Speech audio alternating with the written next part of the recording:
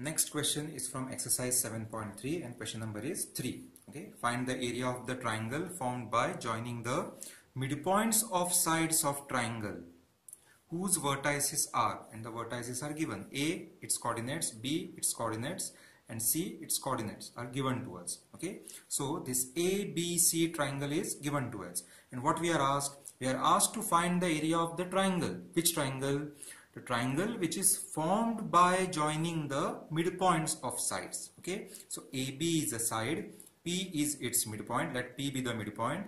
This is side AC let Q be the midpoint of AC this is side BC and let R be the midpoint of BC okay? So we need to find the area of this triangle PQR find the area of the triangle okay? How it is formed? Formed by joining the midpoints of sides of triangle whose vertices are A, B and C.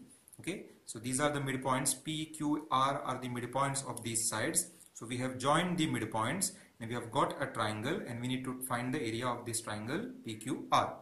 Then also we need to find the ratio of this area to the area of given triangle. Okay, so we need to find the area of this big triangle as well.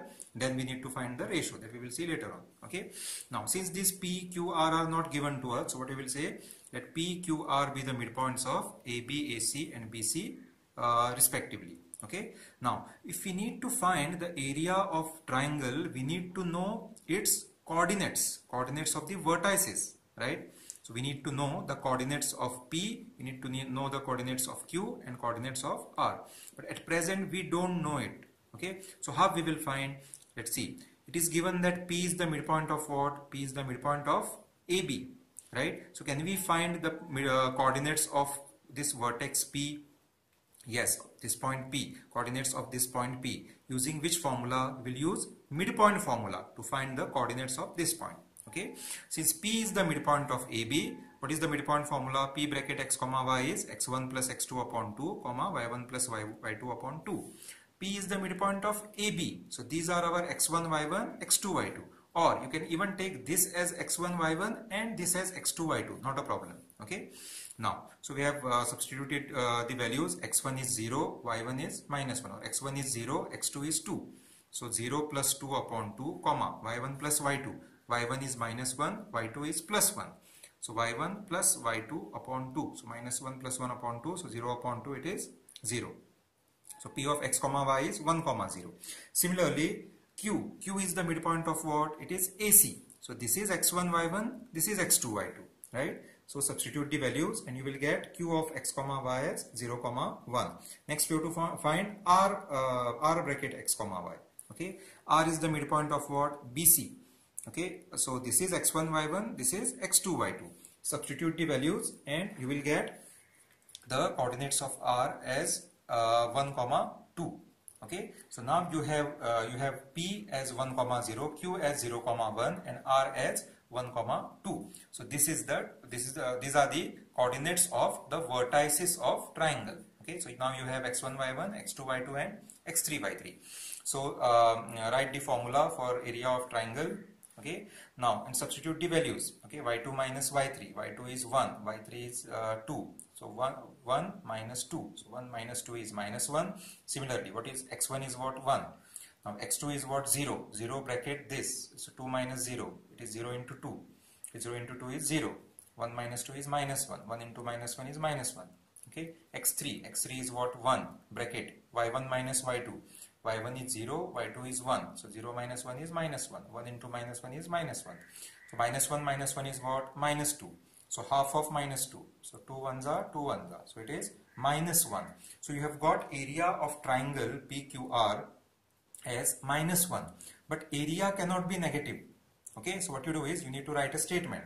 So area of triangle PQR is equal to 1 square unit. Area cannot be negative. So what we do here, instead of minus 1, we write it as plus 1. A very, very important point. Okay. So if you, while finding, if you, while finding the area of triangle, if you get the value as minus 1 or eh, if you get the value as negative, you change it to positive with this and put a reason. Area cannot write a reason. Area cannot be negative. Now you will say why we got area as negative. It's because we have taken this as x1 y1 x2 y2 x3 y3 if we had taken uh, this as x1 y1 this as x2 y2 and this as x3 y3 we might have got positive value. Okay? So it's it, uh, we have got negative because we have considered one order of this x1 y1 x2 y2 x3 y3 for some other order like if we had taken this as x1 y1 this as x2 y2 this as x3 y3 or vice versa then we might have directly got area of triangle as positive value okay? So even if you get negative answer don't worry. Don't consider that your answer is wrong.